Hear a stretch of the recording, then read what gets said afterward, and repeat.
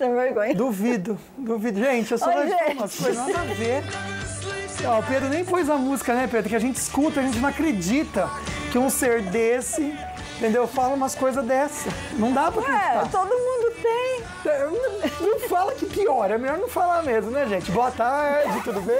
É besteira, gente, que a gente tava do falando. céu. A gente não, você. Eu tava bem quieto, só ouvindo. Mas é um assunto que precisa ser levado a público, Tá, entendeu? depois do dia de Pois- saúde a gente fala sobre esse assunto, então, tá? É Tenta verdade. adivinhar você de casa e É fala com a verdade. gente aqui.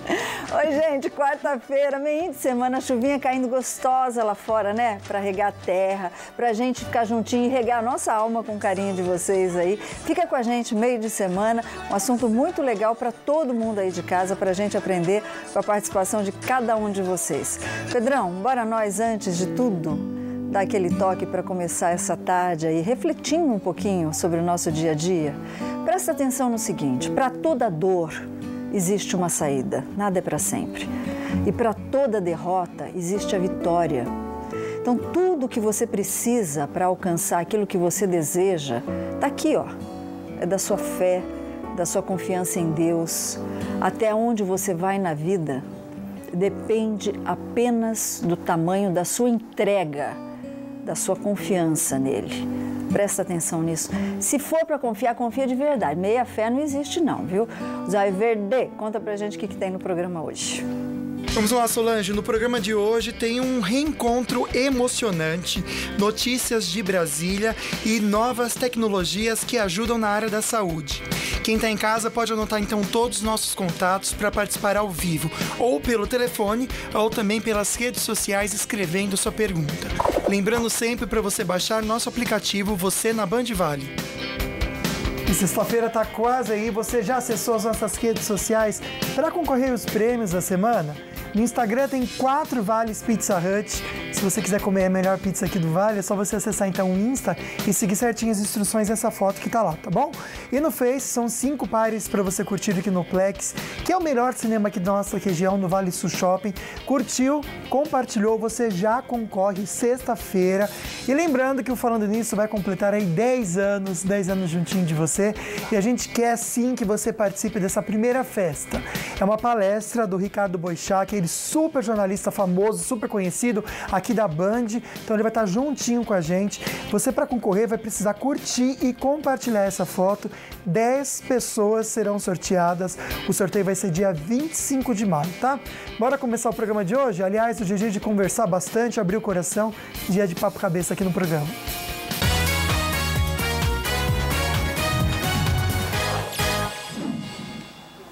É simples assim, né? É muito fácil você estar de bem com a vida quando tudo vai bem. Agora, quando acontece o perrengue, Pois é, né, Sol? E às vezes são probleminhas que a gente vai tropeçando no dia a dia que vão tirando o ânimo, a força e prejudicam os nossos relacionamentos, seja no trabalho ou até mesmo relacionamento homem-mulher. família, né? Você não consegue lidar com algum tipo de problema, tem alguma coisa te incomodando demais é, no dia a dia e você está tentando resolver e não consegue. Vamos pegar a ajuda dele, que está aqui com a gente? Arthur Veneziani, que é especialista em programação neurolinguística do Instituto. Obrigada. Arthur. Obrigada por estar aqui com a gente. Arthur, gente boa, viu? Obrigada. Tudo bem, Arthur? Que bom ter você. À vontade aqui. Arthur. O Arthur já estava comentando com a gente lá a importância, né? Ai, tô velho. Da gente. Deus. que foi? Que eu fui... Ai, saiu no microfone isso? É que eu fui sentar deu mas uma dor.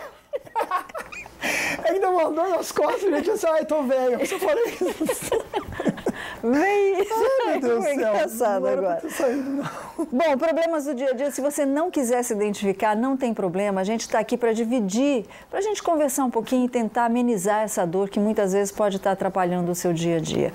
Arthur, problemas a gente sabe que todos temos.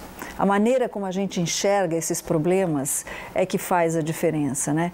Como é que a gente pode pontuar quando um problema do dia a dia realmente está acabando com a nossa saúde, acabando com a nossa vida?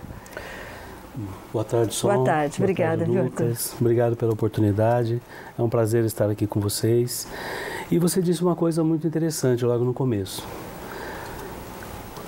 Nós precisamos muito do que está aqui É. e o que está aqui também. A qualidade dos nossos pensamentos influenciam muito as nossas atitudes. Então precisamos trabalhar, gente, trabalhar bem esse, esse lado. Trazer coisas positivas, coisas que realmente agreguem no seu dia a dia.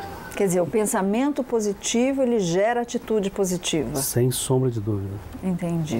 Bora lá, Luquinha. Bora tá nós. Um abraço especial para o Wellington e Samuel de Caçapava, a querida Maria que está com a gente, o São Paulino Paulo de ah, Jambeira. Paulo, se tá... liga, esse problema não tem solução não, filho. Só mudando pro Corinthians. Ai, meu Deus do céu, aí você piora de vez, né? Bom, fazer um comentário aqui de uma querida que pediu para não falar o nome.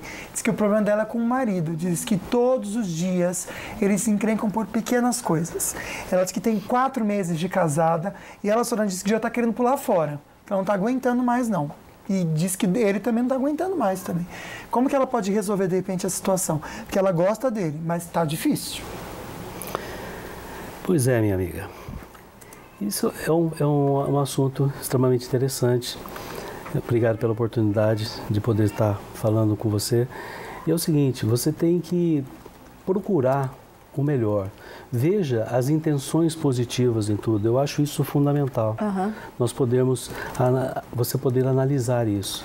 Então vá, converse, dialogue, procure todos os meios para que você possa não você se sentir feliz e fazer com que o outro também se sinta feliz. Agora, por que, que existem pessoas, né, antes da gente conferir aí o nosso dia a dia, é, por que, que existem pessoas que têm muito mais facilidade de transformar o negativo no positivo e outras nem tanto? Eu vou lá atrás. A educação familiar tem alguma influência nisso? Os pais influenciam muito nessas atitudes? Olha, total só. É. Total.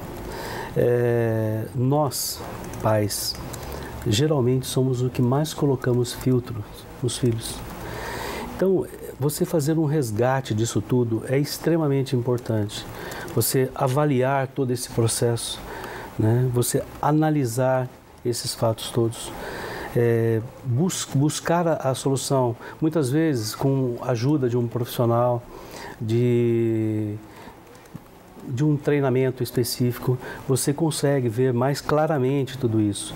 Dentro da programação neurolinguística, isso é um, é um, é um fato que nós trabalhamos muito muito, muito esse registro negativo que nós levamos e isso tem como facilmente ser eliminado. Quer dizer, e a gente vai falar sobre isso. A Ângela deixou uma pergunta aqui. Ângela, a gente já vai até a tua terra, querida Bananal, que é uma terra lindíssima. Ela diz o seguinte, Luquinha, eu não sei porquê, mas não consigo estar bem disposta durante muito tempo.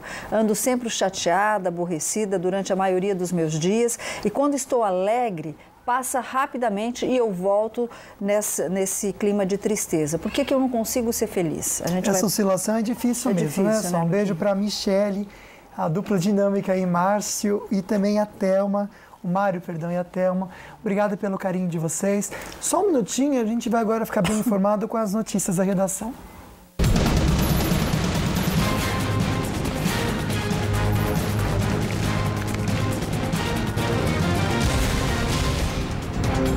De eu chamar a notícia de hoje, acabou de sair aqui no, no site do UOL, Luquinha. A justiça condenou José Dirceu a 23 anos de prisão por corrupção e mais dois crimes aí. O Vacari, que é ex-tesoureiro também do PT, foi condenado a nove anos de prisão. Começou aí. Bom, e o ministro Marco Aurélio Melo do Supremo Tribunal Federal liberou para julgamento no plenário da Corte uma ação, a gente comentou isso ontem aqui no Falando Nisso, que pede a abertura de processo de impeachment agora contra o presidente interino, Michel Temer. No começo de abril, Marco Aurélio concedeu uma liminar determinando que seja instaurada uma comissão especial para analisar o pedido de impeachment de Temer nos moldes do que ocorreu com a presidente afastada Dilma Rousseff. Agora caberá ao presidente do STF, ministro Ricardo Lewandowski, marcar uma data para o julgamento do caso. Na ação judicial, o advogado Marial Marley, autor do pedido de impeachment, argumentou que Temer cometeu o mesmo ato de Dilma ao assinar decretos que abriram créditos suplementares sem autorização do Congresso. Pois é, o Supremo tem toda a razão em querer passar limpo tudo que está de errado nesse país. A minha pergunta é: é o momento? Será que não tem que pôr primeiro o trilho, no Z, o, o trem no trilho aí, para depois começar a mexer, mexer com isso tudo? Afinal de contas, Luquinha, foi apresentado agora um rombo muito, muito diferente do que o PT falava, o governo da Dilma, de 150 bilhões de reais nos nossos cofres. Ai, Solange, o Brasil está arrombado, né? Tá Essa arrombado. é a palavra, né? Vou fazer um Parece programa feia, mas é isso. verdade, né, Sol? É. É ridículo, na verdade, né? Falar direto na nossa redação com o repórter das estradas Israel Gondenstein, que traz informações agora das nossas estradas. Boa tarde, Israel. Aliás, né, essa manhã foi bem complicado aí o trânsito aqui na nossa região, mas vamos começar pela Tamoios. Está confirmado a interdição para hoje ou não, Israel? São Pedro não deixou Lucas. Salve para você de casa que está ligado no Falando Nisso. Uma boa tarde. Ontem eu havia dito aqui no programa que haveria interdição na Tamoios entre 3 às 5 horas da tarde de hoje. Mas com essa chuva os trabalhos foram suspensos e por água abaixo. Caiu uma verdadeira tempestade na Serra do Mar, Lucas, para quem vai sentido do litoral norte do estado. Então, muito cuidado para você que segue por ali. Em alguns pontos chove forte, em outros tem neblina, atrapalhando a visão do motorista na estrada. As estaduais Oswaldo Cruz e Floriano Rodrigues Pinheiro estão do mesmo jeito. Quem sobe a Serra de Campos encontra muita dificuldade. E aquela região já é alta, então facilita ali o efeito, aquele efeito serração, sabe? E Lucas, existem problemas sérios também para quem pega Presidente Dutra. Hoje é um dia super complicado. Quem vai para o Rio de Janeiro enfrenta 6 quilômetros de lentidão ali na cidade de Lorena, entre os quilômetros 52 até os 58, por causa de obras para recapeamento na pista. Lucas, eu estou observando aqui também pelo nosso sistema de monitoramento da Band Vale que já quem vai para São Paulo pega 20 quilômetros, quase 20 de lentidão, Lucas. Congestionamento reflexo de uma paralisação geral dos motoristas e cobradores de ônibus da capital, que pediam melhorias agora há pouco para a categoria. Já no corredor Cavalho Pinto Ayrton Senna, tem trânsito normal em todo o trecho. Lembrando que hoje, em São Paulo, por causa do rodízio, não circulam veículos com placas de sinais 5 e 6 a partir das 5 horas da tarde. É contigo, Lucas.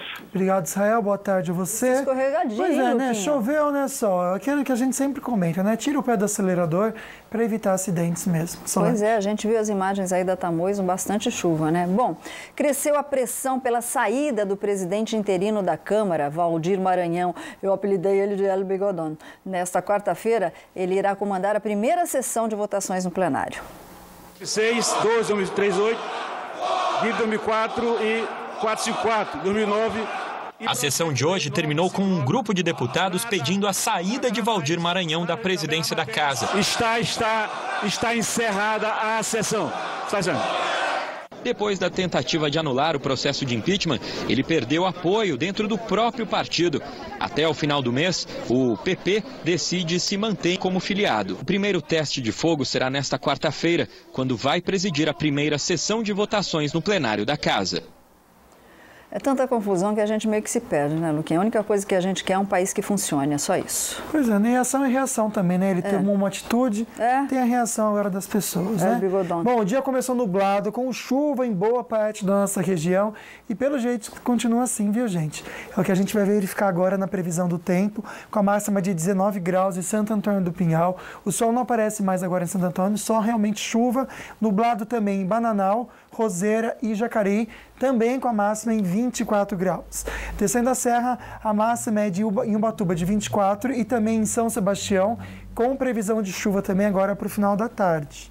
Máxima em Aparecida também de 24 graus. Aliás, a temperatura, Solange, não varia muito disso não essa semana, viu? Vai para 25, 23, isso pelo menos até domingo. Delícia! Tá bom você, né, Sol? Pra Eu descansar. amo. E pra quem tá em casa vendo a gente, debaixo da coberta. Fazer uma perguntinha, você tem medo de tirar sangue? Eu não gosto muito não, viu, Solange? Tem Você tem novidade por aí que vai facilitar um pouquinho aí pra quem sofre, tá? Daqui a pouquinho a gente confere isso. E você quer superar a sua ansiedade? Tem dicas pra você. Olha só. Você sabia que a hipnose clínica pode te ajudar? É isso mesmo, hipnose. Daqui a pouquinho eu vou falar como a hipnose pode resolver problemas emocionais. Até já! You